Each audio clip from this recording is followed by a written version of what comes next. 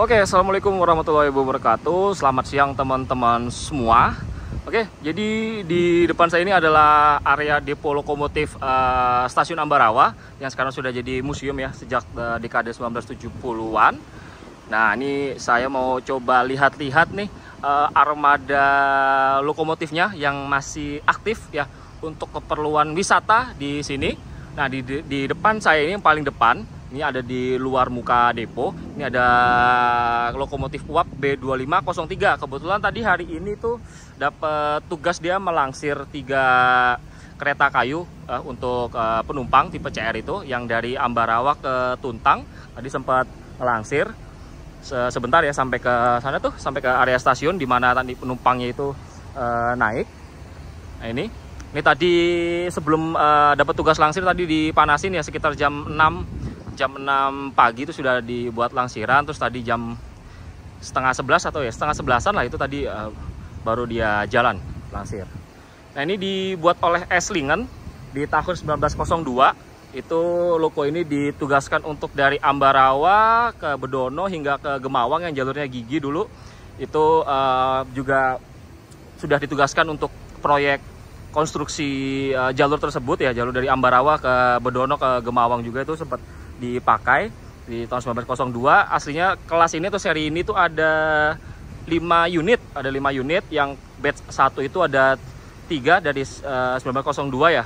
Nah kemudian di tahun 1905 ketika jalurnya itu mulai beroperasi itu ditambahkan lagi ditambahkan lagi uh, dua unit jadi totalnya ada 5 nah yang dua di sini itu masih uh, digunakan untuk keperluan wisata sementara satunya lagi yang B2501 itu ada di uh, Museum Monumen Palagan itu ada di sisi barat ini mungkin kurang lebih satu atau dua kilo dari uh, stasiun Ambarawa. Nah ini saya akan coba dekat ini. Ini karena harus pakai ini air airnya baru masih menetes dari bagian piston sini.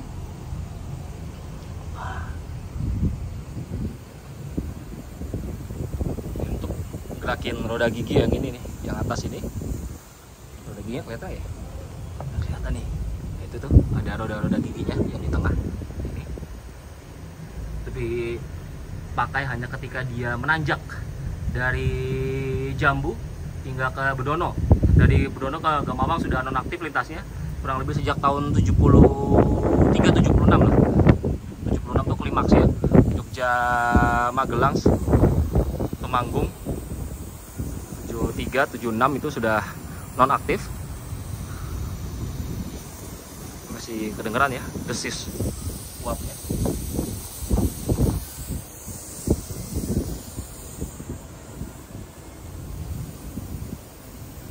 Ini bagian kabinnya ini masih kayu kayu jati ini untuk apa namanya nih? Uh, sarung tangan untuk masukin kayu ke bagian tungkunya situ atau firebox peti apinya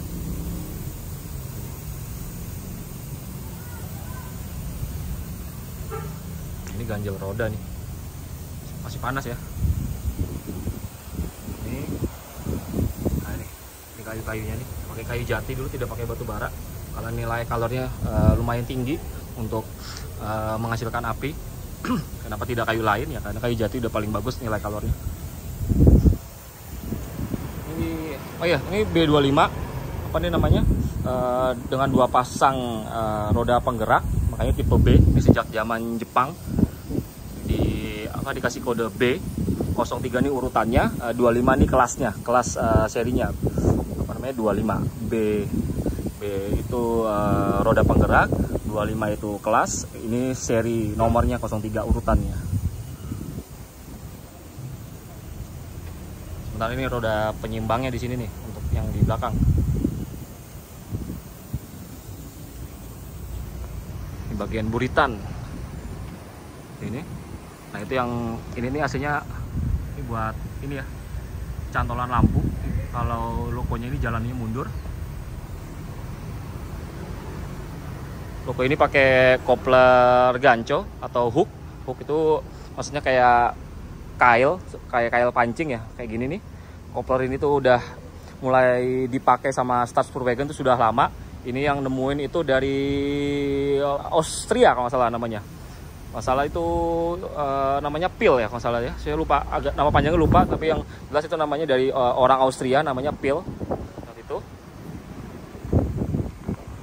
saya akan coba lihat lagi yang lain armadanya buat wisata. Ini AR13 kalau nggak salah ini untuk inspeksi dulu ya pejabat NIS untuk naik sini karena interiornya itu lebih bagus daripada yang tuh coba kita lihat. Itu. Cus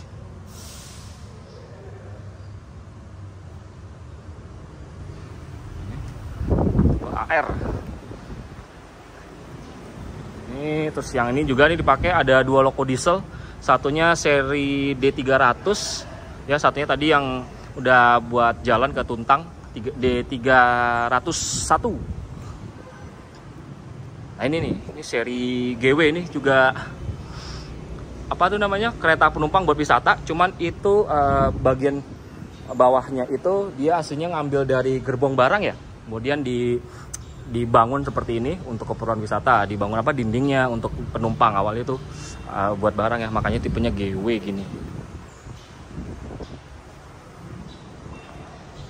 Nah ini tandemnya, tandemnya yang tadi 2503 itu yang di depan. Nah ini yang nomor 02, ini satu, uh, bed 1 B25. Ini lagi libur dulu dinasan, lagi libur dinasan. Hanya ada di belakang sini dikit. Ini bagian kabinnya itu kalau itu tuh masih ada plat produksinya di atas firebox itu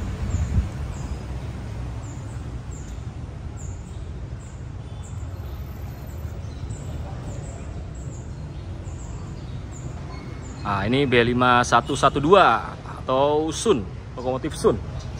Ini dulu pajangan statis kemudian dihidupkan kembali sama PT KAI ya untuk keperluan wisata untuk bantu ini sepasang itu. Apa namanya? Uh, sepasang B25 ini ya 02 sama 03 nah, ini dongkrak. Ini lagi diperbaiki biar bisa jalan lagi.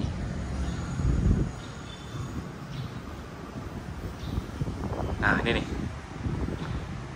Kalau ini plat baru ya.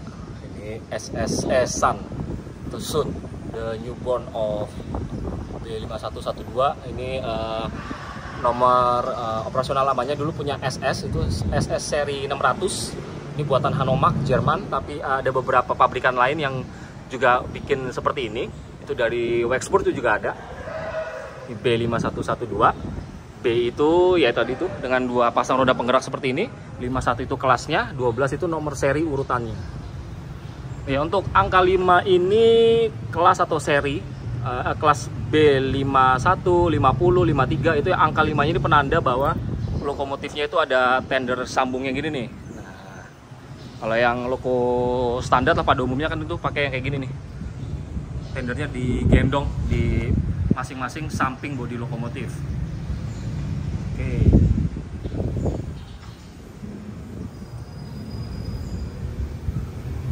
Ini lagi perbaikan sih ini ya, makanya uh, apa namanya nih mesin-mesinnya lagi dilepasi dulu untuk diservis biar uh, bisa jalan lagi. Bagian belakangnya ini, bagian belakang tendernya. Nah, ini dindingnya buat ini muat kayu, makanya ada penahan seperti ini. juga sama pakai kolper ganco atau hook ini kok catcher nih. Kalau ini kok catcher. Buat apa namanya? Pengaman. Dulu tahun 1878 ya SS itu punya lokomotif itu tidak ada seperti ini baru ditambahkan kemudian untuk pengaman. Kalau misalkan dari ada hewan buas lewat di tengah rel nah itu penahannya ini pengamannya ini nih. Sebelum dia langsung uh, ngefek ke apa? Langsung ke lokomotifnya. Bagian aspotnya nih ada tulisan SS nya nih sebagai pemilik lokomotif Ini ada tiga roda ya di bawahnya tender ini. Terus BB. Ini roda penggerak utamanya itu yang gede-gede ini nih. Nah, ini roda depannya nih. Roda pilotnya yang bisa bergeser lateral kiri ke kanan ketika berbelok. Nah, kalau ini ini cerobong. Kalau ini apa namanya steam dome kubah uap. Nah ini nih. Yang teman-teman belum tahu ya kalau ini kotak pemasir. Ini kotak pemasir nih jadi diisi pasir lalu nanti ada apa namanya tuh ada pipa yang ke arah roda sini. Kayaknya sih yang ini nih. Mungkin ya dulu tuh ada pemasir ditaruh sini nih. Sini nanti dia apa namanya nyebar pasir langsung ke roda sini. Sini ke relnya tapi kayaknya sekarang udah nggak ada ya kayaknya nggak kalau soalnya nggak terlalu ini ya nggak terlalu uh, jauh jalannya dan juga tidak operasional reguler seperti zaman Belanda dulu. Makanya tidak dibutuhkan lagi.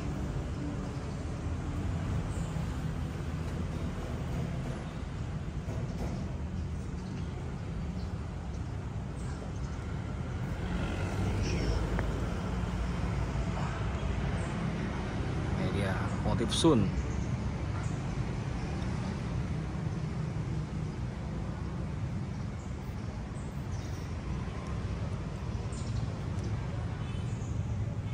Nah, kalau ini rantai pengaman nih namanya, rantai pengaman.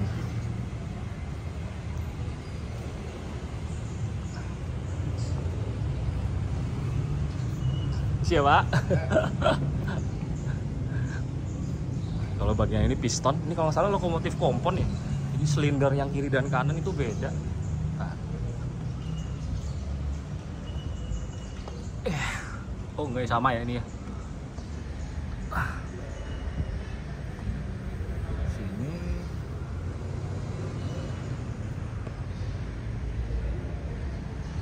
Oh nanti kita coba lihat di C11 sama atau C12 ya yang kompon. Itu dia silindernya itu eh, beda bentuknya. Yang kiri atau yang kanan itu lebih besar salah satunya. Ini bagian boiler. Ini nih. Ini uapnya dari sini nanti. Sini nanti nanti yang pipa ini untuk distribusiin uap ke masing-masing piston di kiri dan kanan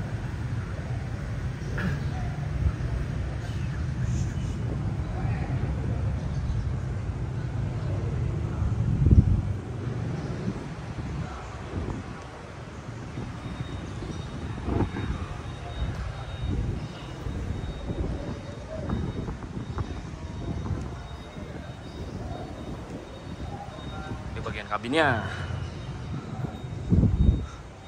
ini kotak api. Nah, sama ada ini beberapa perangkat-perangkatnya katup-katupnya bagian jendela jadi kalau zaman dulu kalau misalkan hujan ini bisa digeser ke sini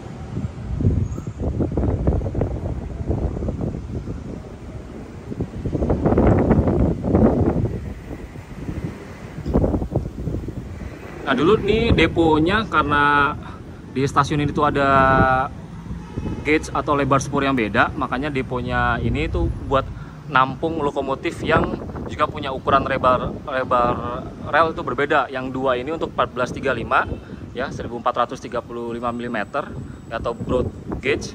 Nah yang sebelah sana itu yang untuk 1067, makanya bagian uh, pintu deponya ini agak beda tuh. Yang ini lebih lebar, ya karena memang lokomotifnya uh, lebih lebar juga lebar spurnya juga beda hampir 400 milian lebih eh kurang lah.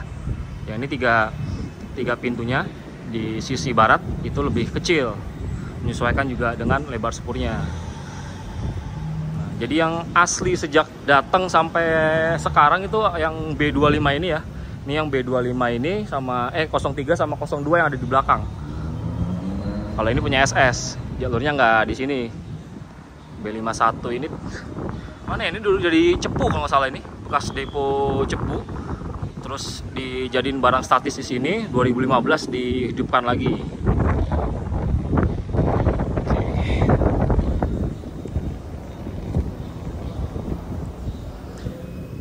Oke, nanti kita setelah kita lihat yang hidup-hidup ini semua untuk keperluan wisata depo di apa namanya ini di dalam depo loko armadanya.